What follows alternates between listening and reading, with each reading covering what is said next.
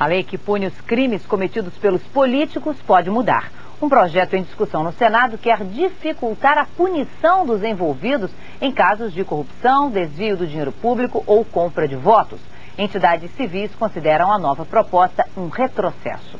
No município de Ipuaçu, em Santa Catarina, o prefeito Luiz Antônio Serralho trocou material de construção por votos durante a campanha. Teve o mandato cassado e foi substituído pelo candidato derrotado. A lei que permite a punição imediata dos condenados por crime eleitoral corre o risco de ser modificada.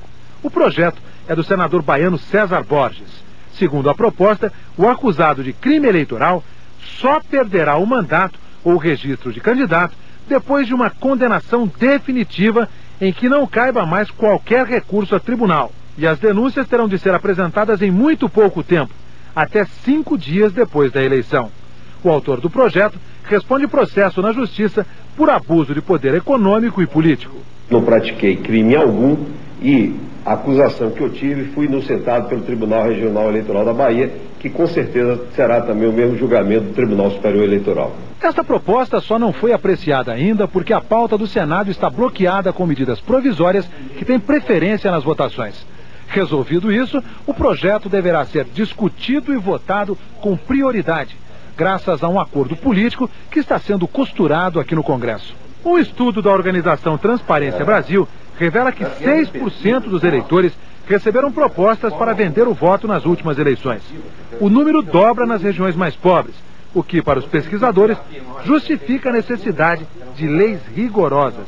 Eu acho que se trata de uma piada de mau gosto. Esse projeto transforma a, a compra de votos num, num crime que não teria nenhuma consequência. É, me parece um total absurdo que um projeto de lei desse seja apresentado. A Ordem dos Advogados do Brasil também critica a proposta que permitirá a um acusado permanecer no cargo se valendo de vários recursos à justiça. O projeto realmente é um retrocesso, uma lei altamente moralizadora, é, que consegue mais de um milhão de assinaturas e agora em véspera pré-eleitoral é, se tirar os efeitos moralizadores dessa lei, realmente é muito lamentável.